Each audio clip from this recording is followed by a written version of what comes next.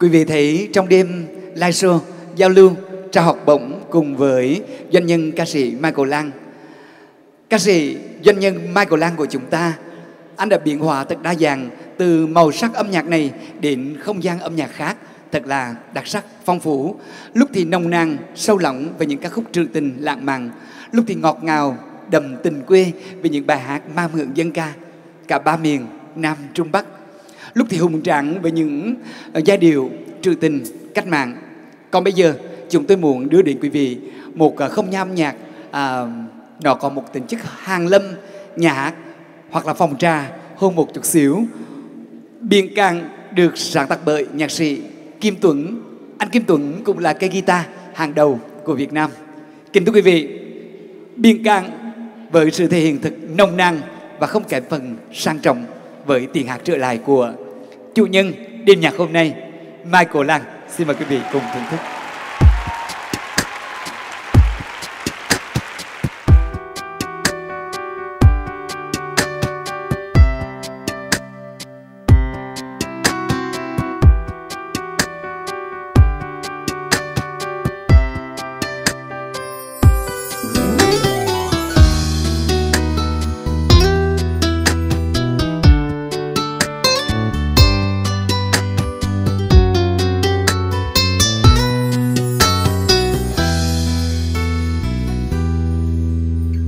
Có người từ lâu nhớ thương biển ngày xưa biển xanh không như bây giờ, biển là hoang vắng.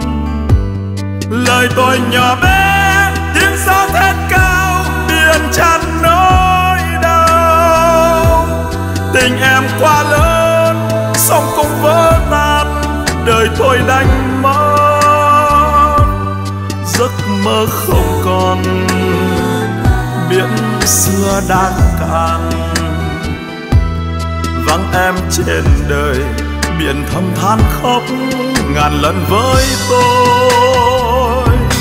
Cùng tôi biển chết, cùng em biển tan.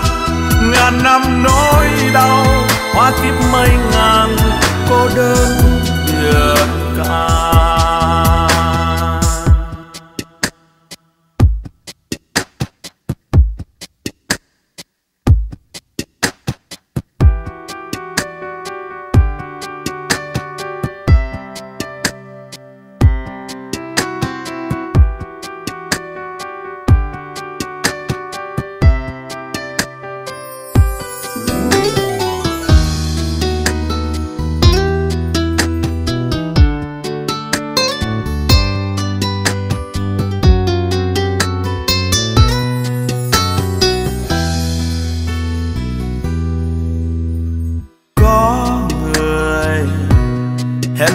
Tới phương trời. Biển xưa lắng nghe chẳng xóa nỗi niềm, biển không lên tiếng. Đời tôi nhỏ bé, trước những khát khao, chìm trong nỗi đau. Tình em quá lớn, với những đam mê, làm nên oan trái. Sống gieo nạo nề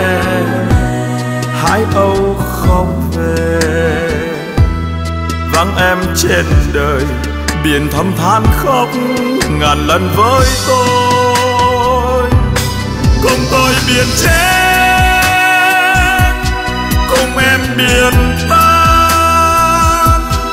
Ngàn năm nỗi đau hóa kiếp mây ngàn, cô đơn biển cạn. Cùng tôi biển chết